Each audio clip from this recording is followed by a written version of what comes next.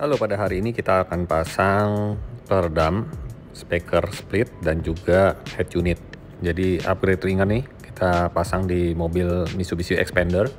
Nah, untuk pada bagian pintu kita mau kasih lihat nih guys, sudah ada cover plastik dan sudah ada peredam busanya ini.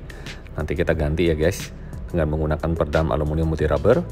Pada bagian speakernya ini masih sistemnya paper ya guys, dual cone, rangkanya juga plastik suaranya hanya bassnya doang yang kenceng. Twitternya ini ukurannya 1 inch dengan bahan metal dome. Untuk pemasangan peredamnya dua layer pada layer pertama ini di bagian dalam dengan menggunakan peredam aluminium putih rubber. Mereknya adalah Ground Zero untuk tebalnya 1,7 mili.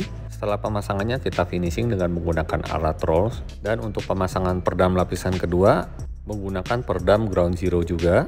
Dan untuk kabel central lock asli bon mobil kita lepas terlebih dahulu ya guys. Setelah itu kita pasang peredamnya baru kita pasang kembali kabel OEM nya speakernya kita ganti dengan menggunakan Pioneer High Res tipenya TSJ 170C dengan ukuran mid bass 6,5 inch. Dan untuk ukuran tweeternya adalah 1 inch.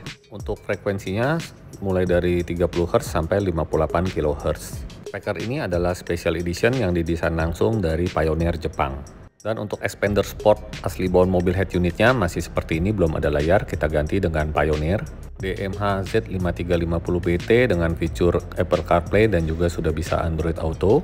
Bisa flux juga dan juga bisa mirroring melalui weblink. Ini adalah tampilan weblink. Dengan fitur weblink ini kita bisa mirroring untuk YouTube-nya dan juga YouTube musiknya guys. Dan begitu kita pilih YouTube keluarnya seperti ini tampilan layarnya dengan layar ukuran 7 inch dan di sini juga ada tombol restoran. Begitu kita pilih restoran, dia bisa keluar rekomendasi untuk restoran terdekat ataupun juga di sini bisa kita lihat melalui Yelp. Dan apabila kita pilih menu musiknya, tampilannya akan keluar seperti ini guys. Dan ini adalah tampilan menu apabila kita menggunakan Apple CarPlay dengan sistem colok kabel ya guys. Jadi untuk tipe ini belum wireless. Dan untuk operasionalnya sangat mudah digunakan. Oke sekarang kita akan tuning audionya dulu dengan memanfaatkan prosesor dari asli bawaan head unit Pioneer ini. Karena sudah lengkap, sudah ada 13 band graphic EQ dan rekomendasi grafik EQ-nya seperti ini guys. Lalu untuk time alignment-nya kita ukur secara manual posisi front right keempat titiknya seperti ini. Angka front left, front right, rear left, dan rear right.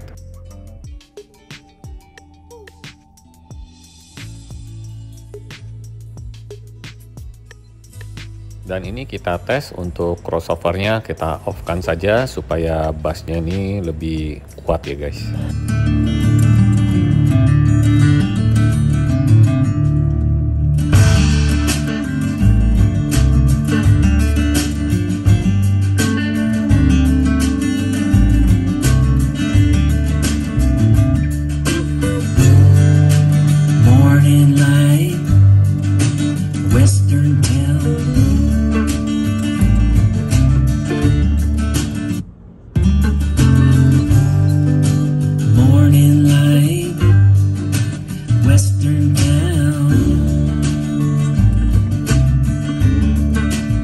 Sekarang kita coba lagi grafik EQ nya kita mainkan lagi di frekuensi 200 nya turunin minus satu lagi.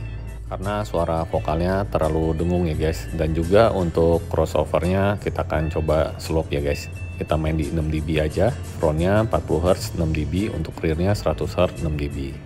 Nah sekarang kita dengar yuk hasil suaranya. Dan kalian bisa mencoba sendiri ya guys. Selamat mencoba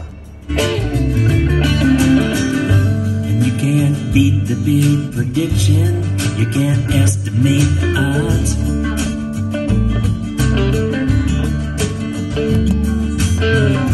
And you can't treat a false addiction with some even false.